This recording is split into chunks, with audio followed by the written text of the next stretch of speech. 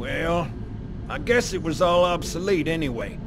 Your new suit's a Mark 6, just came up from Songnam this morning. Try and take it easy until you get used to the upgrades. Okay, let's test your targeting first thing. Please look at the top light. Good. Now look at the bottom light, alright? Look at the top light again. That's it. Now the bottom one. Okay.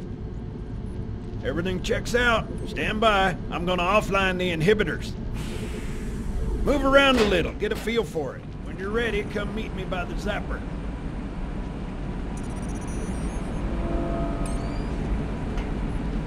Pay attention, because I'm only going over this once. This station will test your recharging energy shields. Your new armor shields are extremely resilient, very efficient. Bingo! As you can see, they recharge a lot faster. If your shields go down, find some cover, wait for the meter to read fully charged. That, or he can hide behind me. You done with my boy here, Master Guns? I don't see any training wheels. His armor's working fine, Johnson. You're free to go, son. Just remember, take things slow. Don't worry, I'll hold his hand.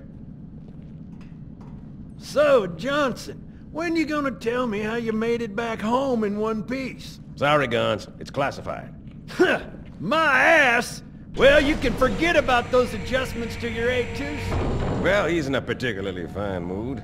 Maybe Lord Hood didn't give him an invitation.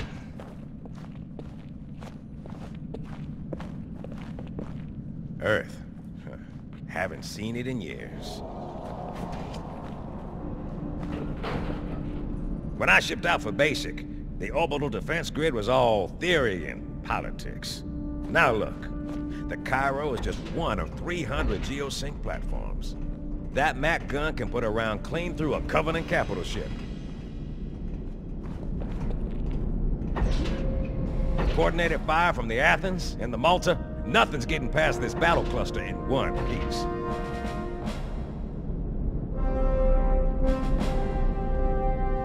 Ships have been arriving all morning. Nobody's saying much, but I'll bet something big's about to happen.